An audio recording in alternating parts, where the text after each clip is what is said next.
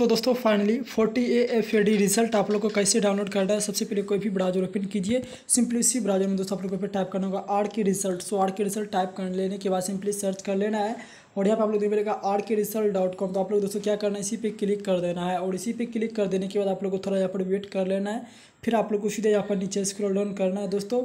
और यहाँ पे जैसे तो आप लोग आइएगा देखिए दोस्तों यहाँ पे देखने को मिलेगा तो कि आप लोग यहाँ पे forty A F A D result twenty twenty two link तो आप लोग दोस्तों क्या करना है इसी वाले दोस्तों लिंक पर यहाँ पे आप लोग को क्लिक करना सो क्लिक करने के बाद आपको कुछ पैसा इंटरफेस आप लोग को देखने को मिलेगा तो आप लोग यहाँ पे कैसे कैसे यहाँ पे करना होगा आप लोग यहाँ पे सीधे नीचे को स्क्रॉल डाउन कीजिए यहाँ पे सभी जानकारी दोस्तों आप लोग को दिया गया है आप लोग इसके बारे में दोस्तों आप लोग को भी बताया गया अच्छे से आप लोग यहाँ पे दोस्तों चेक करना मेरिट लिस्ट एंड कटअप के बारे में सभी जानकारी दोस्तों आप लोग को यहाँ पे दिया गया दोस्तों आप लोग को डाउनलोड करने के लिए सभी स्टेप आप लोग को यहाँ पे दोस्तों फॉलो करना होगा इसके माध्यम से आप अपने रिज़ल्ट को डाउनलोड कर पाएँगे। इसके अलावा आप लोग को यहाँ पर डायरेक्ट लिंक भी आप लोग को यहाँ पे दिया गया रिज़ल्ट डाउनलोड करने के लिए।